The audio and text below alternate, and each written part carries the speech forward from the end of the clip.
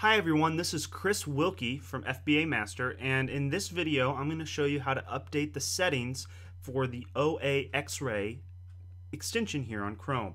So you can be on any web page or you can just open up Chrome in general and the way you're going to set your settings is you're going to go over to the little icon which is the barcode with the magnifying glass. If you hover over it you will see that it says OA X-Ray.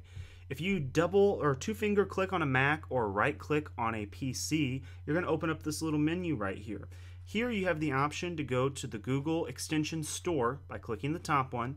You click Options and it's going to pull up a screen that we're going to go to here in just a second. You can remove it from Chrome. Say you're done and you don't want to renew your subscription. That's how you remove it. You can hide the button if you would like, or you can manage all of your extensions.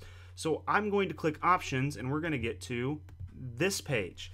So it's going to pull it up, and actually, it's going to come to this page. Um, I remove. I didn't click on the button because it'll show my key, and I don't want you all to have my key that is having me or my subscription to OAX-Ray. But you'll put in the key that you are sent here. You get the option to open it in one pop-up, so you can click that or not, and you get to pick your colors. Um, I'm a huge stoplight kind of guy, so I like to uh, use red for negative, green for positive.